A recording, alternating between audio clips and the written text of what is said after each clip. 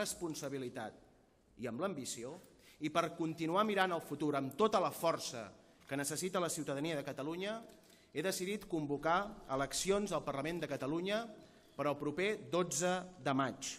amb l'objectiu que Catalunya es pugui dotar d'un govern amb molta més força per continuar fent avançar el país i accelerar encara més les transformacions i fer-ho sense, sense dependència dels immobilistes.